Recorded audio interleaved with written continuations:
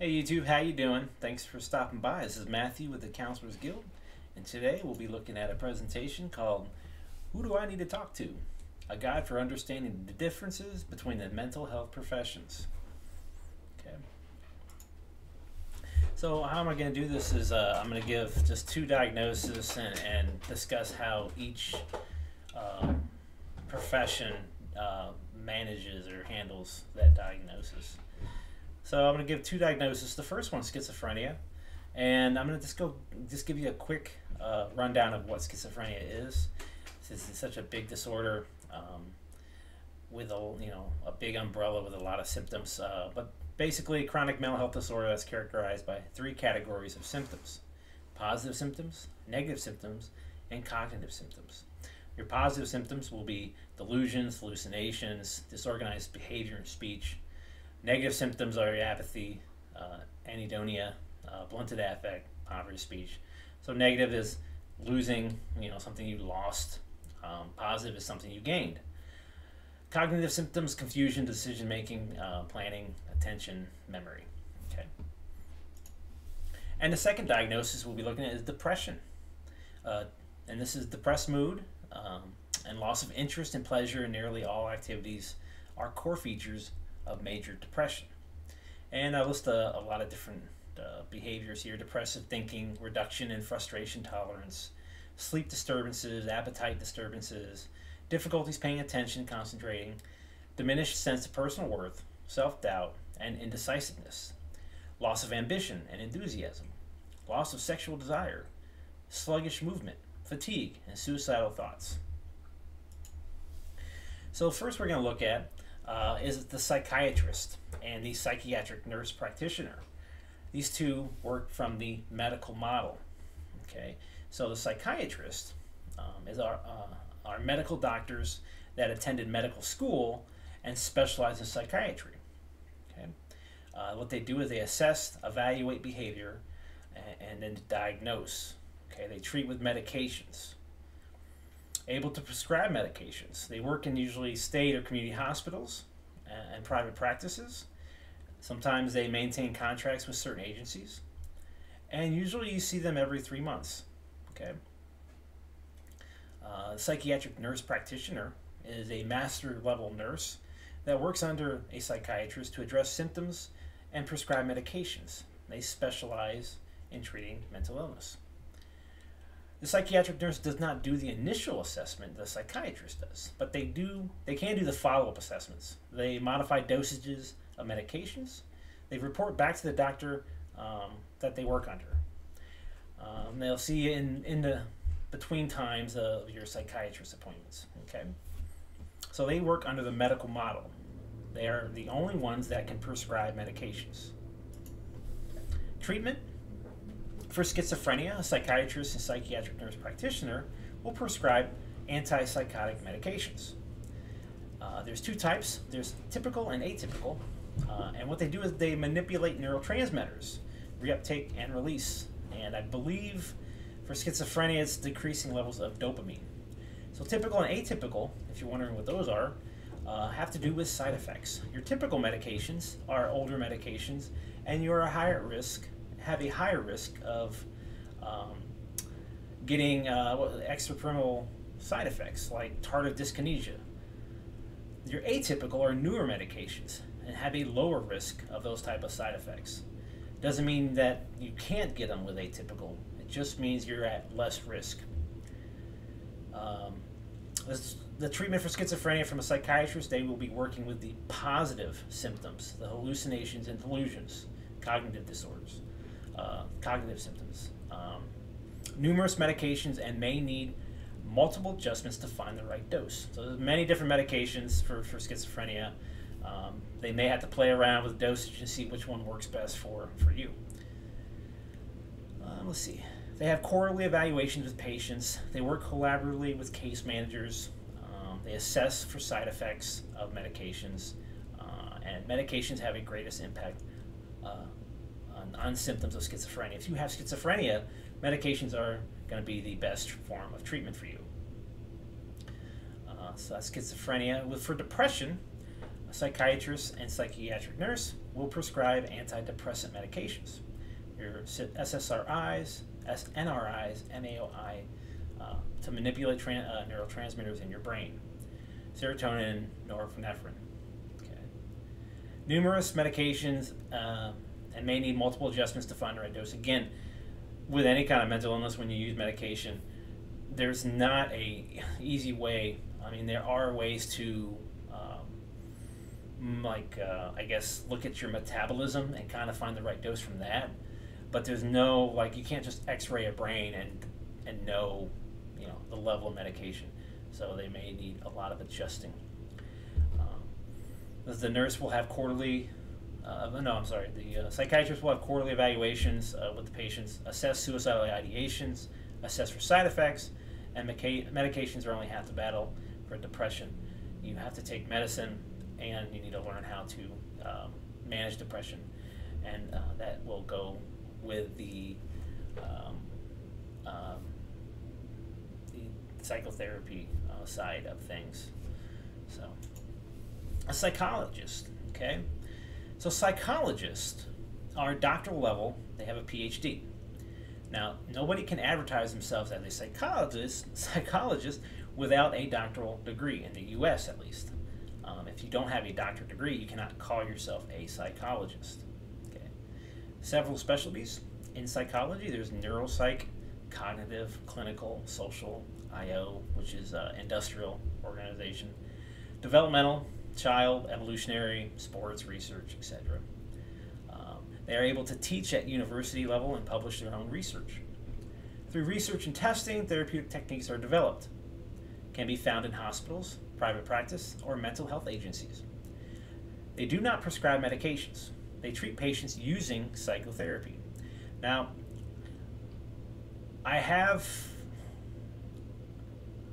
heard that some states are trying to get psychologists to prescribe medications. I don't know if that's uh, that's happened yet. I thought over in California they were trying, but I'm not sure. Um, but mainly, psychologists do not prescribe medication. Do not go to medical medical school. Okay. Um, they are go. They go to uh, like clinical psych, or they go to uh, um, universities that teach how to do psychotherapy. Uh, and uh, let's see, here, they can specialize in areas of interest. So a clinical psych may specialize in anxiety or depression or um, you know some type of area of interest that they uh, want to be in. So psychologists will utilize theoretical orientations to treat mental illness. There's many different theoretical orientations: psychodynamic, cognitive, behavioral, etc. Okay, uh, there's literally thousands of different orientations and this uh, their orientation is going to direct how they treat you. Okay, so you may see four different psychologists, and they may have four different orientations. So you you know you, I guess it depends on what works best for you as a patient. Um, so just be be aware of that. Okay, there's uh, a lot of different psychologists out there. Okay. Master level therapists, professional counselors, social workers, uh, and the LPC and the LCPC is usually around their uh, um, um, credentials, and usually they put around their name, um, so you know what they uh, what they have. And these are graduate degrees, and they have a state licensure, or they're provi- provisionally licensed through the state, um, and that includes a master's degree, and then they have to do um, testing and they have to do supervision.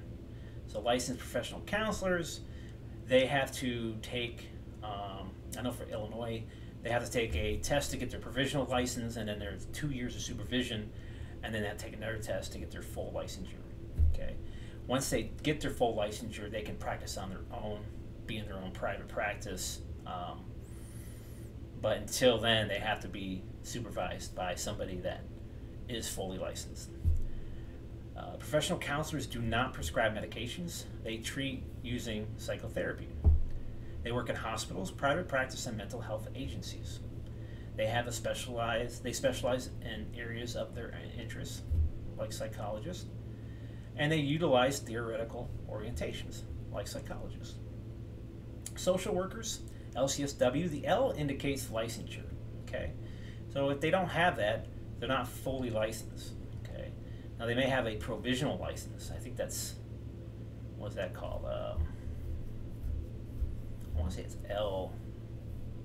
Is it PL or uh, usually there's a P around it. Um, but uh, the full licensure, if they're they're they're on their own, they have an LCSW. Uh, for social workers, that that um, you need a graduate degree and state licensure, a lot like professional counselors. Social workers cannot prescribe medication. They treat using psychotherapy, and they work in hospitals, private practice, and mental health agencies. There is differences between professional counselors and social workers. Uh, I think their um, education and training is a little bit different. Social workers seem to be more focused on societal factors, um, where professional counselors are, are much more concerned about the individual. Okay. Other master level therapists, there's your marriage and family therapist, uh, and that is a graduate program in marriage and family counseling. Okay. Um, their whole program is around marriage and family counseling. Uh, they focus on family and couple issues. They do not prescribe medications, and there's several orientations that will determine the course of treatment. Mental health counselors, I tried to do some research on that. It seemed a lot like professional counseling to me. So I don't know if it's just called something different in different areas of the country, um, but I looked at their, you know, their what they are and their. Uh, I looked at a couple of universities and their um, curriculum, and it's it's right there with professional counseling. So I'm thinking that probably the same thing, just depending on where you are in the world. Kind of like Hardee's uh, and um, um, well, shoot, what's the other one called? um, what is it called? Hardee's and what's the other one? Oh, let me know. Can't think of it. Carl's Jr. Okay, probably something like that. Uh, but I don't know if you're if you are a mental health counselor, you know, let me know if you if you know the difference.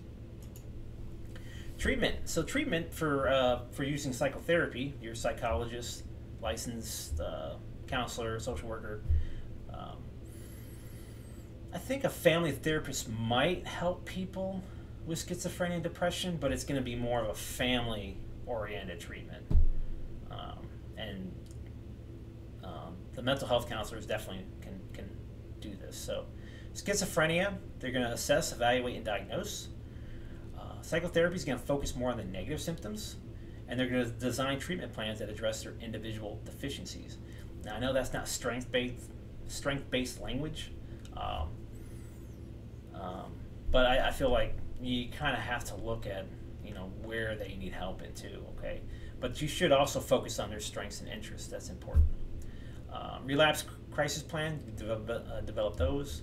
Uh, medication education, monitoring. Again, we can't prescribe medication, but if you you know educate them on what they are, maybe their side effects, um, maybe uh, help them uh, organize their medications because usually with schizophrenia you're around quite a bit. Um, monitoring, okay, psychotherapy groups, work with family members, support groups, and build a support network. Uh, for depression, again, you're going to assess, evaluate, and diagnose. You're going to modify neurotransmitters through neuroplasticity through repeated behavioral cognitive changes. Okay, so where psychiatry, prescribing medication, modifying those neurotransmitters um, through introducing the chemical into the brain. Uh, psychotherapy is, you know, it's changing the brain through repeated behaviors. Okay, it's naturally um, increasing serotonin. Okay, see, the therapeutic orientation will determine the interventions that are used. Okay, so if you have depression and you go to four different psychologists, they may do things, you know, differently. Okay, um, depending on what they, what they, how they believe. You know, your therapeutic therapeutic orientation is just what you believe is the best or how the best way to describe behavior. Okay, so people that are in psychoanalytic therapy, um, they're gonna you know, do more talk therapy. Cognitive behavioral therapy is going to do more um, homework, much more, um, I want to say, being much more active during therapy. Um, okay. Let's see here. We're so psychotherapy is going to help the client manage their own depression by identifying triggers, signs of relapse, and build skills that, that is helpful with their depression. Okay, so taking a pill, it probably helps, but it doesn't really help you with your depression. Okay, it's kind of like diabetes, you know, where you take medication, uh, but also you have to make those lifestyle changes to accompany that. And with depression, there's a lot of lifestyle changes you have to make. Uh, so depression, medication, education, monitoring, um, assess for suicide, and build a support network. Okay. Okay, so looking at the bachelor's level, um, this is going to be people with a uh, BA or BS in psychology or social work. They don't have a theor- theoretical orientation. Um, they're kind of at the mercy of their agencies, uh, whatever they choose. They want to. They're going to work primarily in mental health agencies. I don't. They can't have their own private practice. Um, they have to work for agencies, hospitals, community health, mental, uh, mental health centers. Uh, these are your case managers or behavioral health tech. Uh, they can't prescribe medications. They all have to work under a direct uh, under the direction of a supervisor. Uh, they offer community support. They help with medication management, advocate advocates for care, um, provide groups, treatment planning. Uh, the work of this person is varied and cannot be contained in one slide. Uh, it's literally so many things that you do uh, at that level. So treatment for schizophrenia, uh, community support, help them to stay functional and in the community. Uh, report suicidal, homicidal ideation, work, help with working on goals. The treatment plan will direct your work with the individual. Go with them to doctor's appointments and advocate for care. Provide skill building groups. You may home visit, assess their living situation. Review relapse and crisis plans, med- medication management. Build skills to help them be independent. Assess side effects and report them to psycholo- uh, psychiatrists. Assess symptoms and report to psychiatrists. For depression, help with working on goals. Their goals will direct your interventions again. Stay active or engage in their daily routine.